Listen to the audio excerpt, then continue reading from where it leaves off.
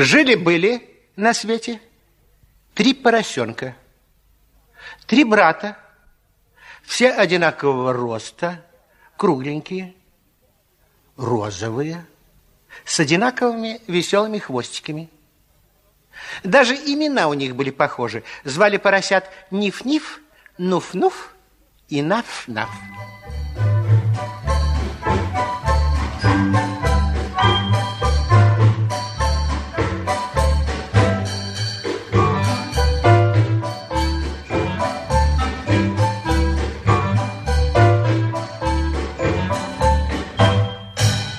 Все лето поросята кувыркались в зеленой траве, грелись на солнышке, нежились в лужах.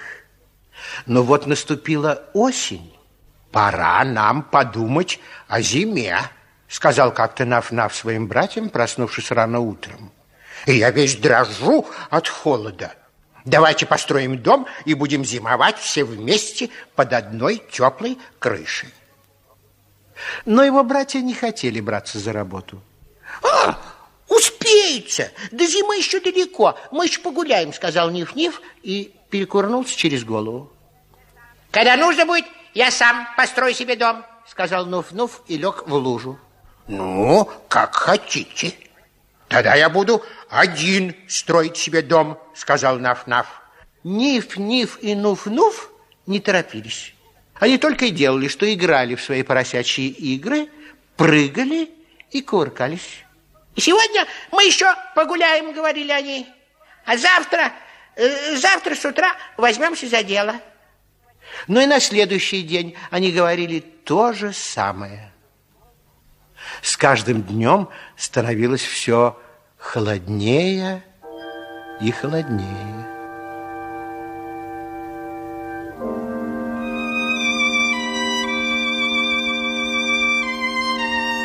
И только тогда, когда большая лужа у дороги стала по утрам покрываться тоненькой корочкой льда, ленивые братья взялись, наконец, за работу. Ниф-Ниф решил, что проще и, скорее всего, смастерить дом из соломы. Ни с кем не посоветовавшись, он так и сделал. Уже к вечеру его хижина была готова. Ниф-Ниф положил на крышу последнюю соломинку и, очень довольный своим домиком, весело запел. Хоть полсвета обойдешь, обойдешь, обойдешь, лучше дома не найдешь, не найдешь, да. Напевая эту песенку, он направился к Нуф-Нуфу. Нуф-Нуф невдалеке тоже строил себе домик. Он старался скорее покончить с этим скучным и неинтересным делом.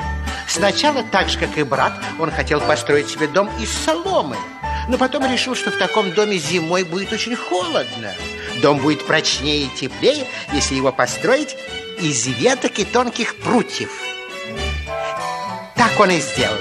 Он вбил в землю колья, переплел их прутьями, на крышу навалил сухих листьев, и к вечеру дом был готов. У меня хороший дом, новый дом, прочный дом. Мне не страшен дождь и гром, дождь и гром, да. Не успел он закончить песенку, как из-за куста выбежал Ниф-Ниф. «Ну вот, и твой дом готов», — сказал Ниф-Ниф брату. «Я говорил, чтобы быстро справимся с этим делом. Теперь мы свободны и можем делать все, что нам вздумается. Пойдем к Наф-Нафу. Посмотрим, какой он себе выстроил дом, сказал Нуф-Нуф. Что-то мы его давно не видели. Ну, пойдем посмотрим, согласился Ниф-Ниф. Наф-Наф вот уже несколько дней был занят постройкой. Он натаскал камней, намесил глины и теперь не спеша строил себе надежный, прочный дом, в котором можно было бы укрыться от ветра, дождя и мороза. Он сделал в доме тяжелую дубовую дверь с засовом, чтобы волк из соседнего леса не мог к нему забраться. Ниф-Ниф и Нуф-Нуф застали брата за работой. «О, что ты строишь?» В один голос закричали удивленные Ниф-Ниф и Нуф-Нуф. Что это, дом для поросенка или крепость? Дом поросенка должен быть крепостью. Хм, уж не собираешься ли ты с кем-нибудь воевать? Весело прохрюкал Ниф-Ниф и подмигнул Нуф-Нуфу. И оба брата так развеселились, что их визг и хрюканье разнеслись далеко по лужайке. А Наф-Наф, как ни в чем не бывало, продолжал класть каменную стену своего дома, напевая под нос песенку. Никакой на свете зверь не ворвется в эту дверь. Хитрый, страшный, страшный зверь не ворвется в эту дверь. Я, конечно, всех умней, всех умней, всех умней. Дом я строю из камней, из камней, да. Это про какого зверя он поет? Спросил Ниф-Ниф у Нуф-Нуфа. Ты про какого зверя? Спросил Нуф-Нуф у Наф-Нафа. Это я про волка, ответил Наф-Наф и уложил еще один камень.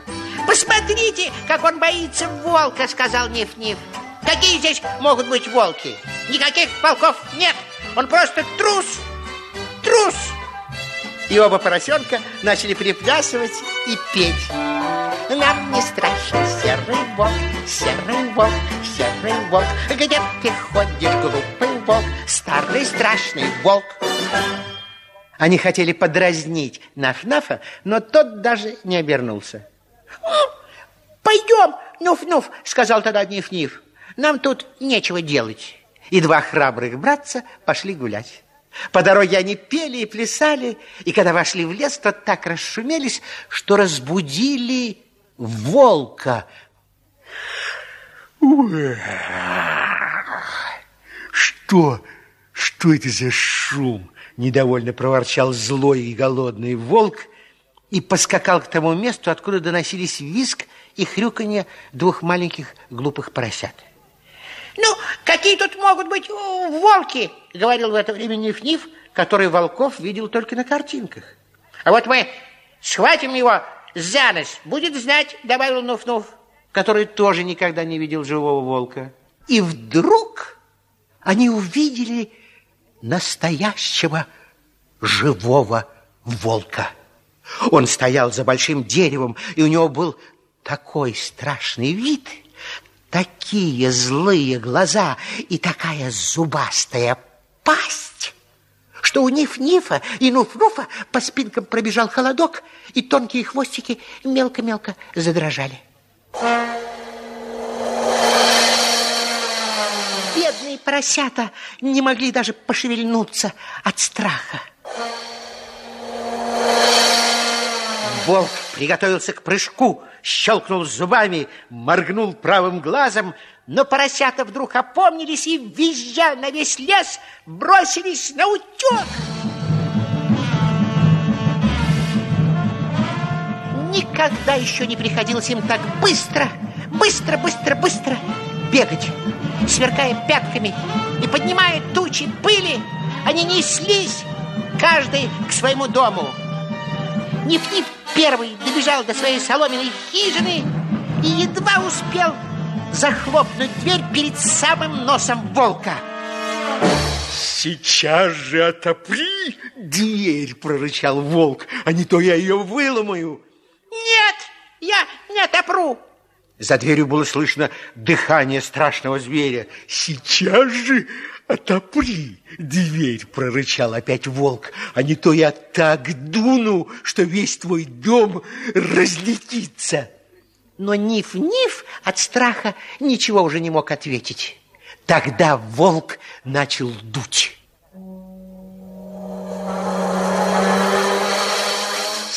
крыши дома слетали соломинки, стены дома тряслись. Волк еще раз глубоко вздохнул и дунул во второй раз. Когда волк дунул в третий раз, разлетелся во все стороны, как будто на него налетел ураган.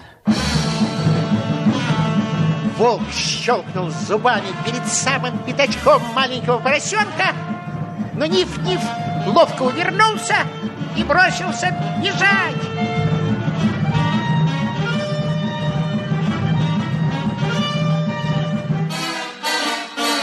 Через минуту он был уже у двери Нуф-Нуфа.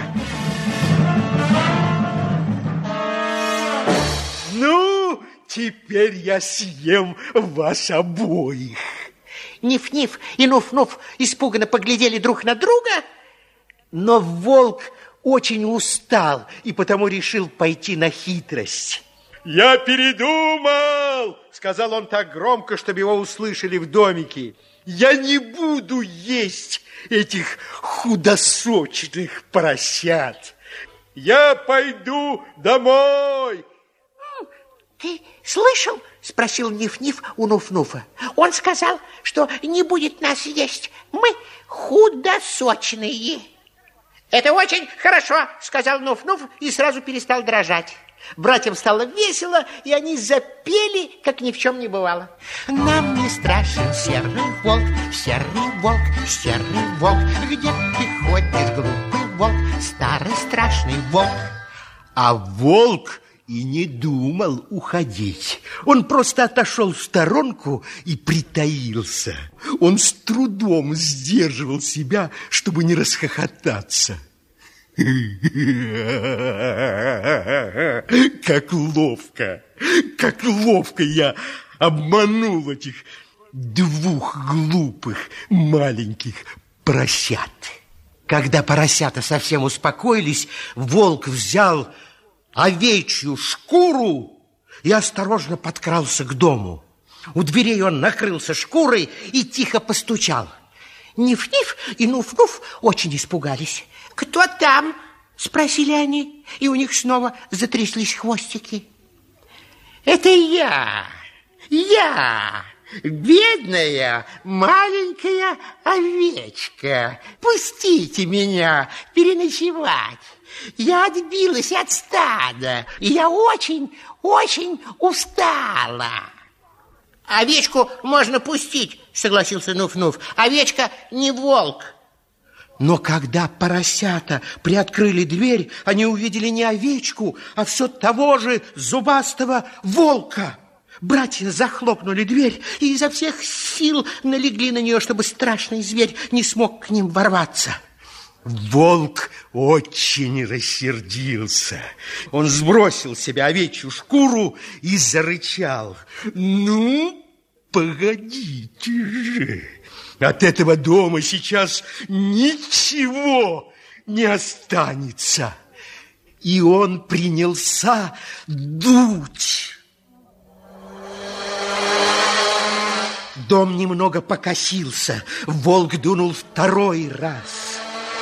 Потом третий. Потом четвертый раз крыши слетали листья, стены дрожали, но дом все еще стоял. И только когда волк дунул пятый раз, дом зашатался и развалился. Одна только дверь некоторое время еще стояла посреди развалин. В ужасе бросились поросята бежать. От страха у них отнимались ноги. Каждая щетинка дрожала. Носы пересохли. Братья мчались к дому Наф-Нафа.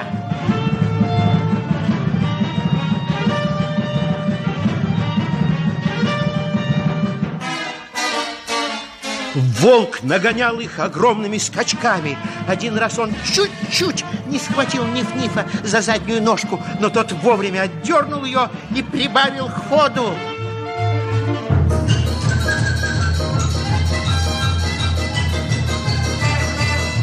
Волк тоже поднажал. Он был уверен, что на этот раз поросята от него не убегут. Но ему опять не повезло. Поросята быстро промчались мимо большой яблони, даже не задев ее. А волк не успел свернуть и налетел на яблоню, которая осыпала его яблоками.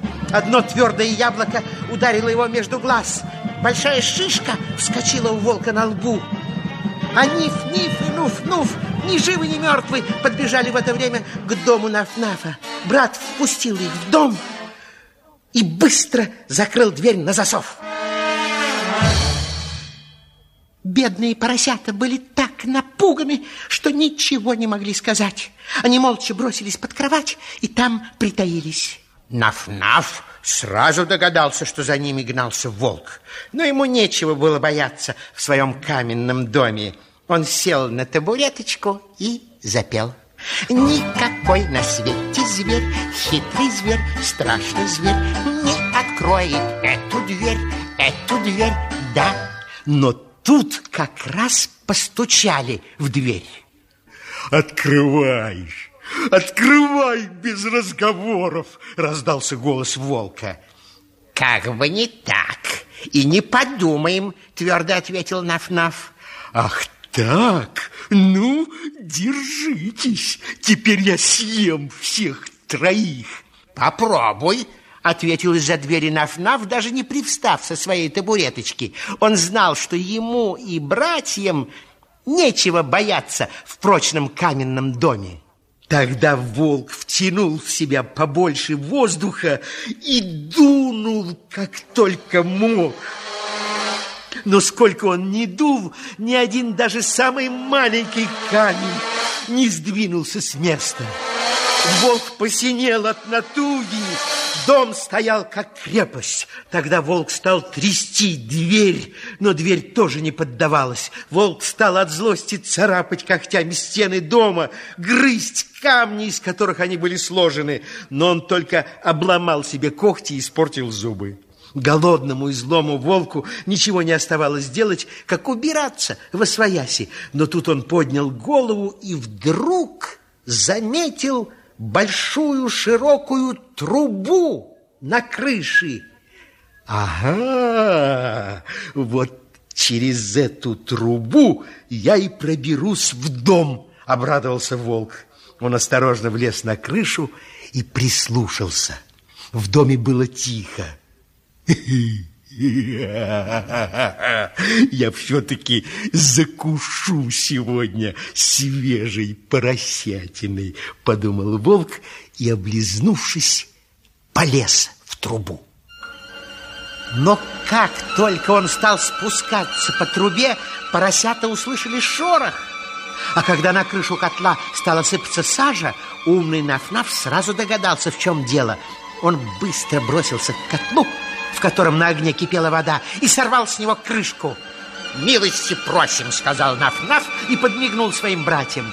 Поросятам не пришлось долго ждать. Черный, как трубочист, волк бултыхнулся прямо в котел.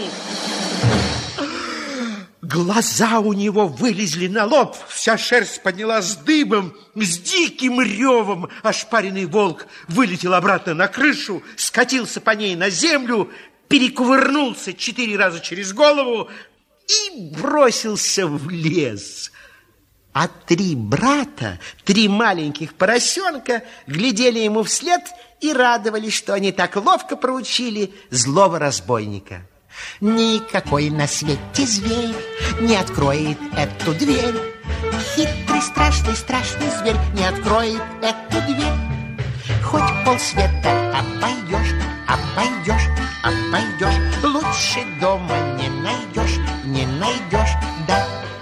Волк из леса никогда, никогда, никогда не вернется к нам сюда, к нам сюда, да.